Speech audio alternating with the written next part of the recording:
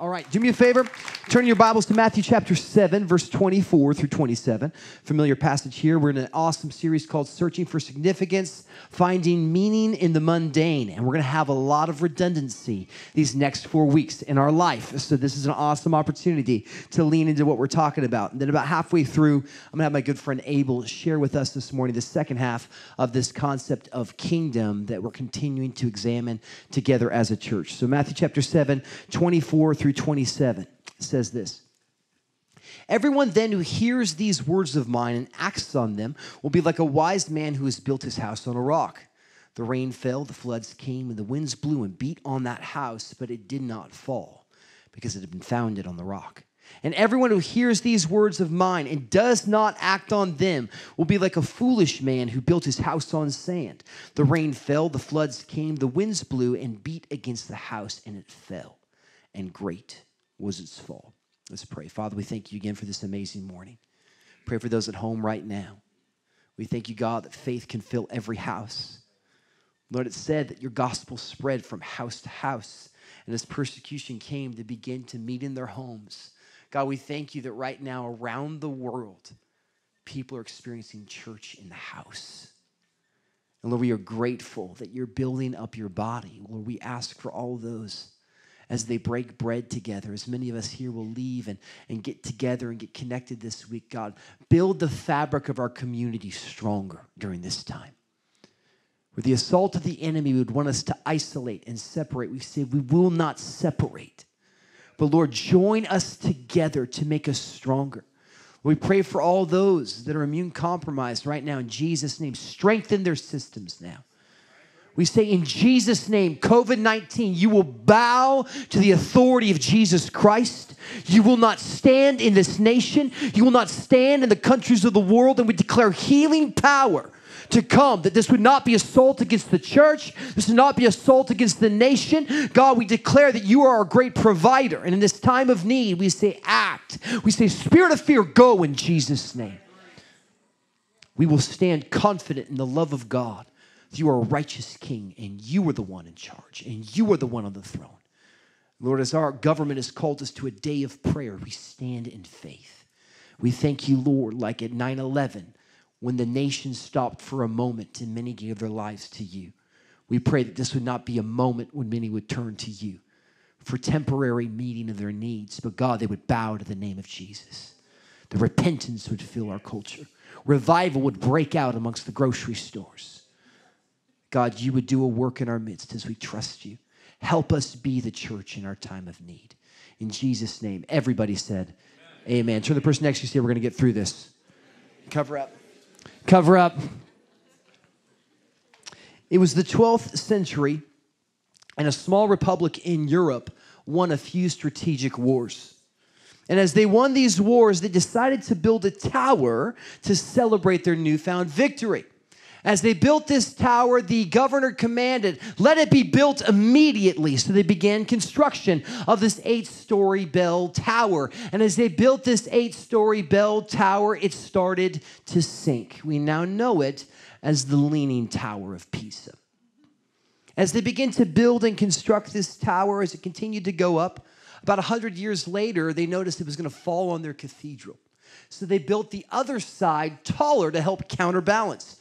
Well, it began this, this construction process that would last several centuries, all the way up until 1960, when they actually had to remove the bell from the bell tower.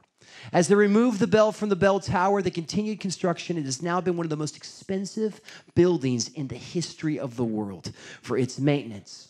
Now, when you examine why did this tower begin to sink, because the foundation was too small. And as they examined this leaning tower, and now if they've done these counterbalances, they've examined that they built this tower with a foundation only nine feet deep. Nine feet. Well, this fear of skyscrapers tumbling upon cities started to spread. So in 1900, when New York became this bustling city of success, they built the first skyscraper on American soil. It's called the Tower Building. Well, as they began to build this tower building, they started to talk about the fears that everyone had of these towers toppling. What happens if a hurricane hits or some type of storm comes or an earthquake? So they began to share about the foundation. So there's this magazine called the Century Magazine. They had this elaborate article where they shared about the necessity of foundations. But what was unique about New York compared to any other area was they had built a foundation underneath that every building could tap into. So the foundation of the tower building was approximately 100 feet deep, but it tapped into a greater foundation. And here's the picture they released in the Century magazine. As you look here, there's the skyscraper up top, and down below is the foundation that they had set in place. Literally, every building was built upon rock and sand and granite because they were prepared for the future. They were preparing to build a city that could last and withstand any storm. See, how you build, the foundation you set, determines your future outcome. And as Jesus is declaring the goodness of the kingdom of God and its arrival, he gives the most famous sermon ever preached. It's called, you know, the great, this great sermon here, Matthew 5, 7 through uh, 5, chapter 5 through chapter 7. There we go. We will rewind that one. Greatest sermon ever preached, Sermon on the Mount. But as he gives this sermon, he ends it with a chilling parable. And this chilling parable begins to talk about foundations. He says, Everyone who builds their house on a rock, when wind come, when rain falls, when the flood breaks open, behold, the rock will break those waves. However, those that build on sand, their foundation won't stand. Now, here's what we have to understand we're removed from the context of that culture. Why would someone build on sand? Now, many of us are used to beaches and we're used to Folsom Lake. Sand is soft. This is Palestine we're talking about. When you would walk on the sand, as Bob was out there in Pakistan, the sand appears, because it's so dry, to be firm. It appears to be something will withstand a storm. See, in order to build on a rock, it would take tremendous effort to get there. Why would you want to build on a rock? You're removed from the city. You're removed from so many people. You would have to haul up all your materials to a place that's difficult to get to. And this is what Jesus says Those that hear my message and do my message are those that are building their life on this rock that will stand. Now, for many of us, when we hear this parable, we've heard it preached hundreds of times, we think this those that build their house on the rock are those that believe in Jesus, and those that build their house on the sand are those that have not given their life to Jesus. Jesus. That's not true. It has nothing to do about a statement of faith. It has to do, did you put his word into action? This message, he says, it's the word logos. As you have this message, now many of us have heard the message, but he says, unless you put it into action, it really isn't going to take effect. It's not going to work. We all know there's two key ingredients to a foundation in the natural that's cement and steel. You need both for a foundation to stand. And what Jesus says is this here's the materials. It's called my message, it's called the good news, but unless you put it into practice, you're not going to withstand the storm. He says this there's going to be wind, there's going to be rain, there's going to be a flood. This wind, this word in Greek literally means atmospheric change. When the winds come, will your house stand? See, this is one thing we have to understand is that the atmosphere can determine how you respond. When you walked in that grocery store this week, guess what was contagious? Not COVID 19, fear. Yep. Come on. Fear is a contagion. You know what else is a contagion? Religion. Yep. Yes, it is. Jesus says, Beware of one thing. Beware of what? The yeast of the Pharisees. Yep. Brilliant documentary called Cooked. And in Cooked, he talks about how they would make yeasted bread back in the first century.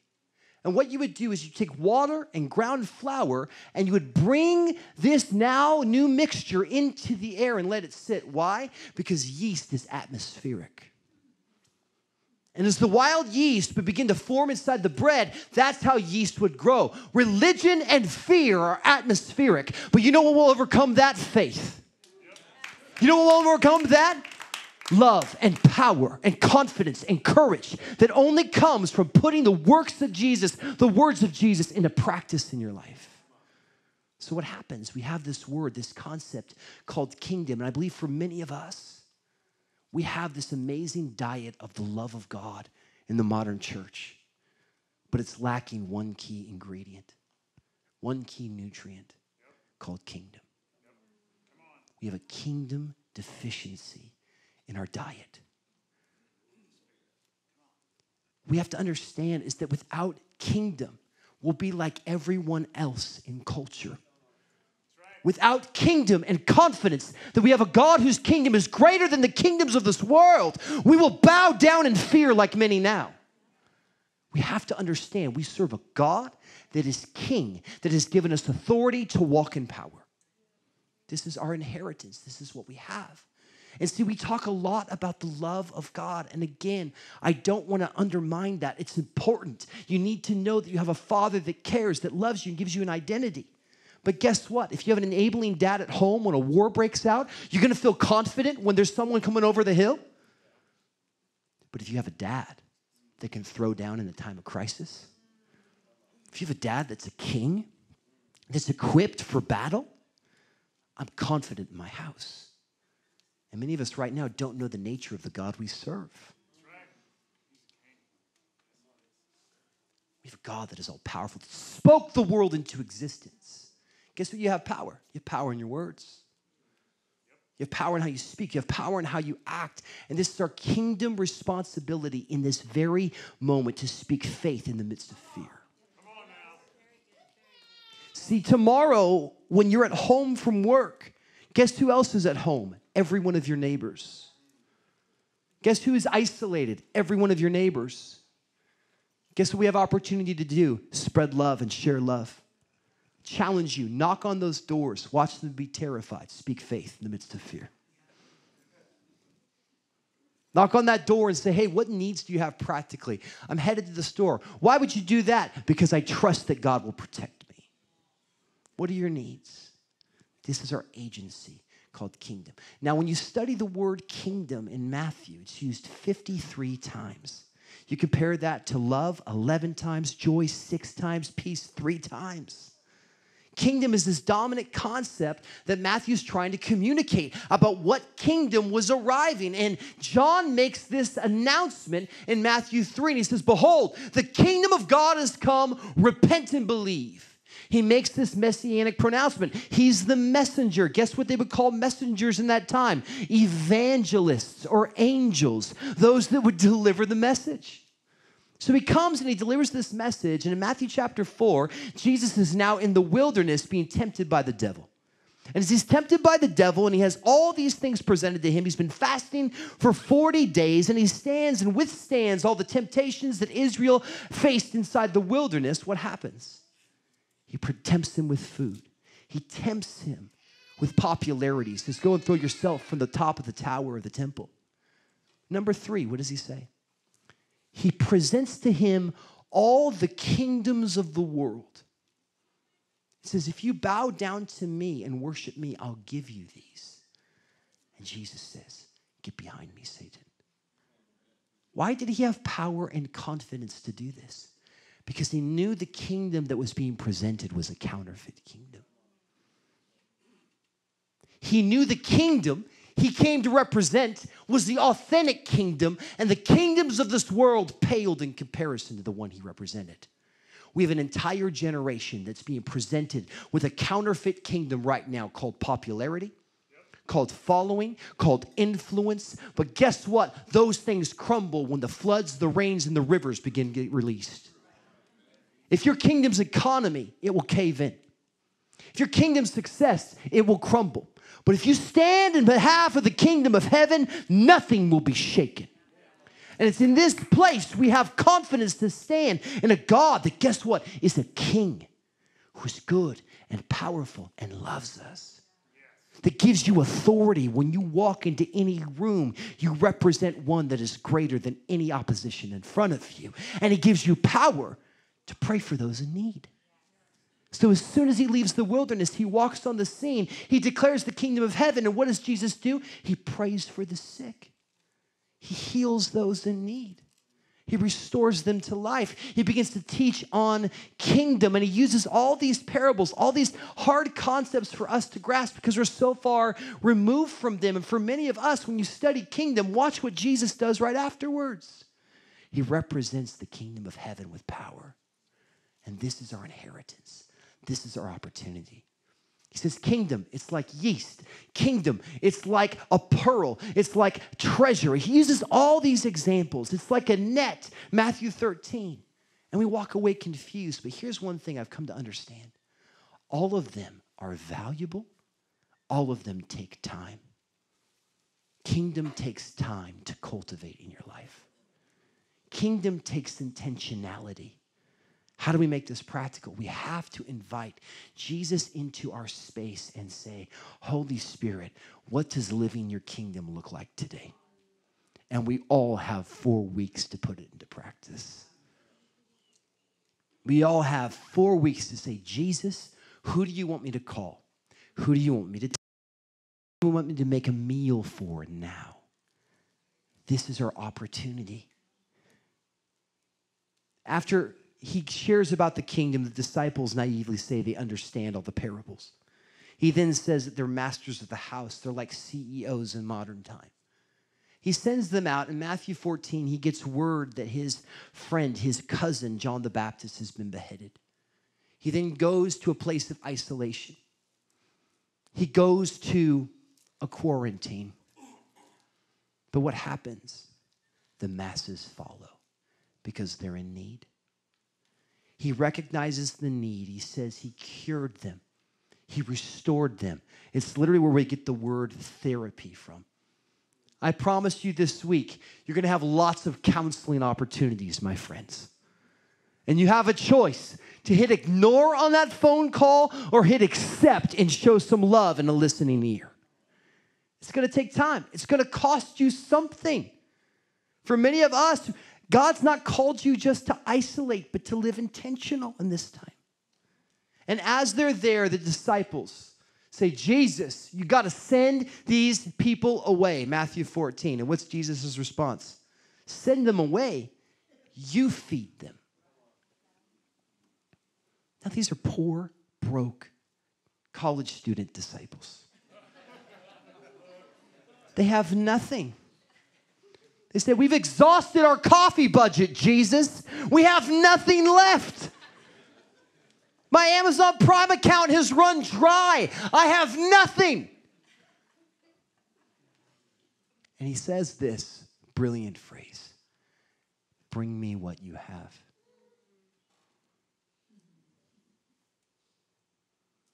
Our opportunity in this moment when we feel like we have few answers is to bring Jesus all we got and let's see him multiply the work of his kingdom these next four weeks.